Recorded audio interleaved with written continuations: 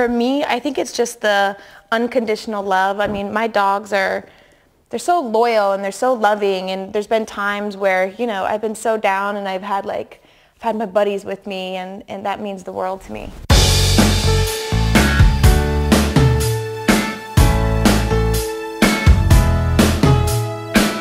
Hey, this is Shanna Moakler. I'm sitting here with my boy Buddha and I'm about to do my OK Magazine photo shoot.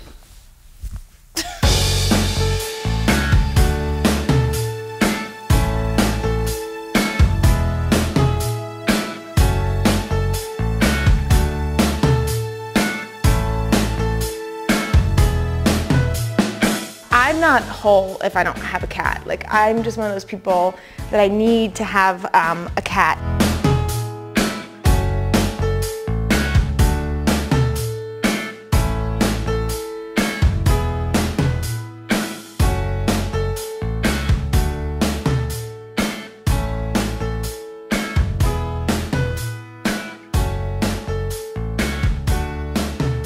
They actually work as a team sometimes, which gets kind of crazy. He'll go up on the counter and push the food off so that the dogs can rip it apart so that they can all eat it together.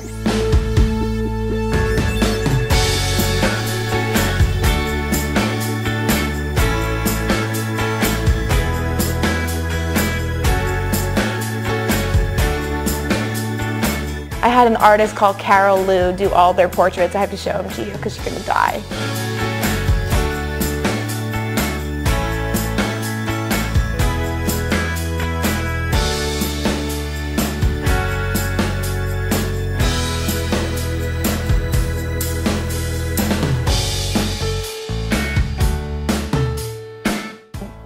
I feel really blessed to have them in my life because they bring me such joy and happiness and, and uh, like little unconditional balls of love.